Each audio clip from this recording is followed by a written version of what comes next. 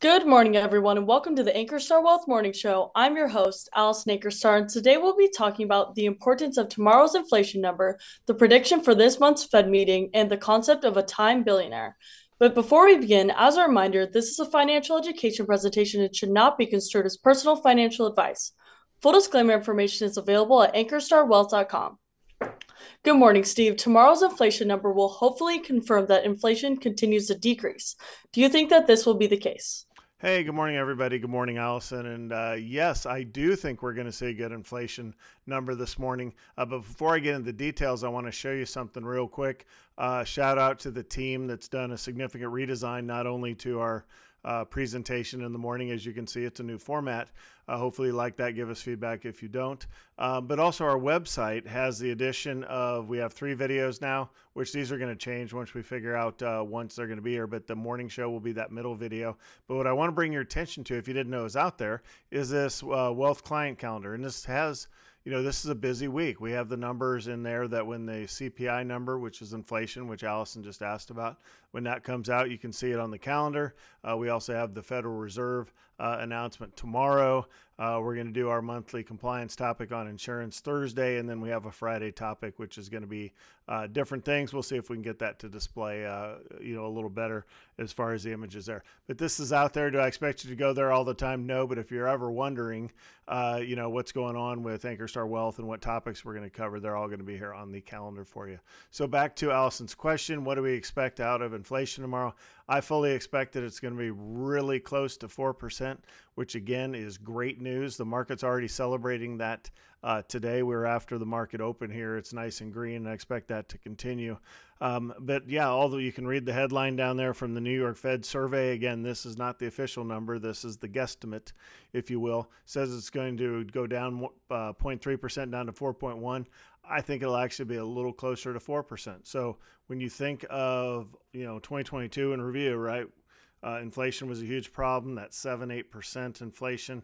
Uh, the Fed raised interest rates, you know, pretty much 10 times in a row uh, to combat that, made it kind of painful, uh, but to get inflation under control. So it appears it's working.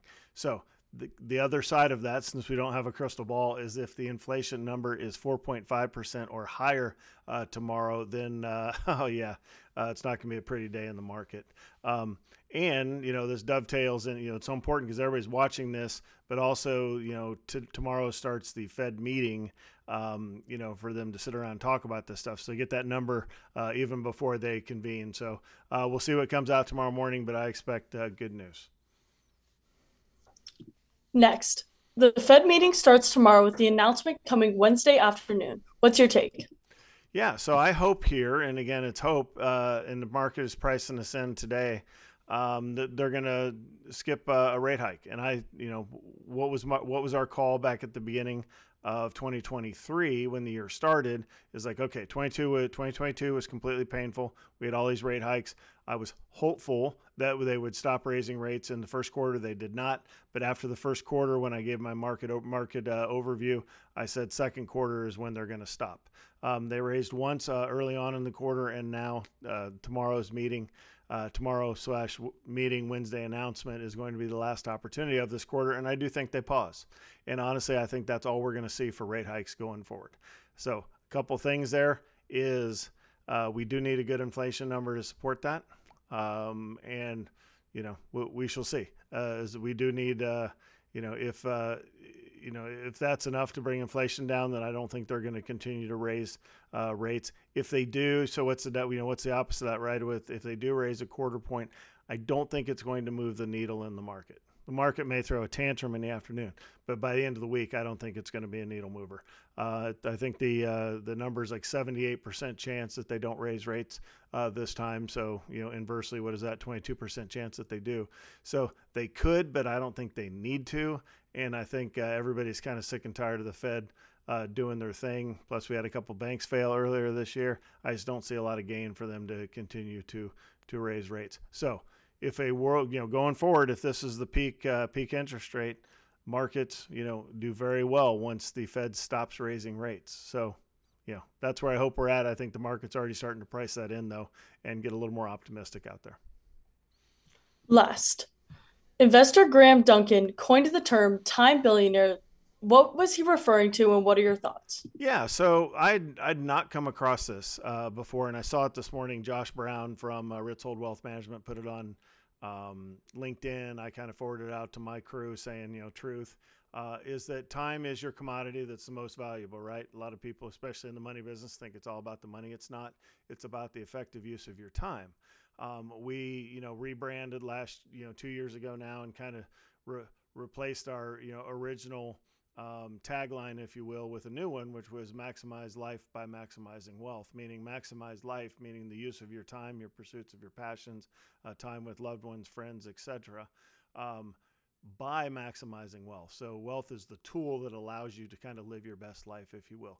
Well, this is a little bit different of a take. Is uh, you know, we, we talk about billionaires in, in the finance world, and of course, there's not that many of them, you know, less than 500 if my number's right, uh, worldwide. So they really are pretty rare. But his point uh, in his book here that he wrote, The Time Billionaire, is that uh, you know time being the most precious commodity is that if you look at seconds as one unit right a billion seconds is about 31 years so really somebody you know around allison's age that's leaving you know in or leaving college student has about 2 billion 2 billion you know seconds to live their life right so that would take them up to the age of 80 uh, you know to get the most out of those primary years of their life so it's an interesting way of looking at it um, and then you know the challenge to you, your the call to action that all off you know all authors have is how are you going to spend that time, right?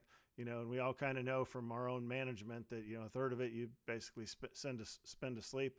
Uh, you know, a good hour and a half, two hours, depending on how you consume food.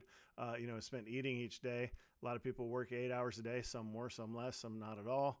Uh, you know, the rest of it's kind of a negotiation of what you can what you can do with your time here uh, on this planet. So I think it's. I have not read the book. I'm not necessarily vouching for it, but I certainly like the concept um, down here, where you know, in you can see this. Um, see this uh, paragraph that kind of talks about it. You know, a million seconds is 11 days, and a billion seconds is 31 years. So really, uh, some way to look at to make sure you're getting the most out of your time, not just the most out of your money. Thank you, everyone, for your questions. Please submit your questions as a comment through social media or directly to our email at vipservices at ankerstarwealth.com.